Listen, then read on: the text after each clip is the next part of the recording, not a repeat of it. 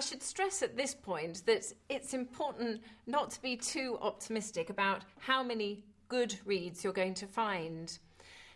Always bear in mind the story of the clarinetist who went to visit the reed factory in France and asked to see the factory worker who put the one good reed in every box of 10.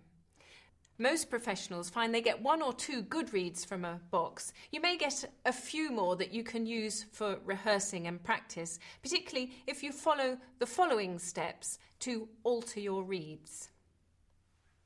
If the reed's too thin, i.e., it plays far too easily and makes a rather thin sound, what you need to do is first of all try flattening it against a hard substance. If that doesn't help, you've no alternative other than to cut something off the tip of the reed. You need a reed cutter like this. Place the reed in the cutter with only a little tiny bit of the tip showing. You really need to cut off just a very little at a time and then try it on your clarinet. There's nothing worse than cutting off too much and realizing you've made the reed too hard. If, however, the reed is too hard, it's difficult to blow and makes a fuzzy sound, then you need to take some material off the reed.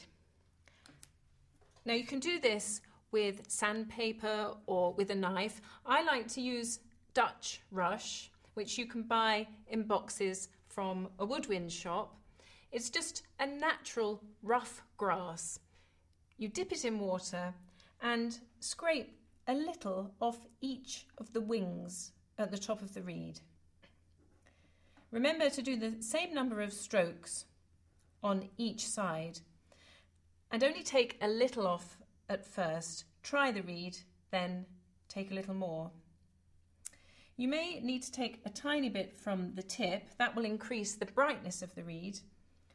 And if it's still very stubborn and far too hard, you'll need to take some off lower down.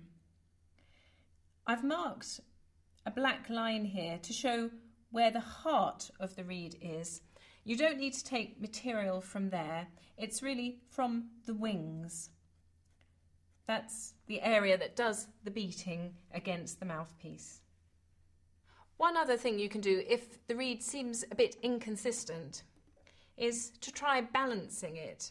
By that I mean putting the reed so that one of the wings is part way across the mouthpiece.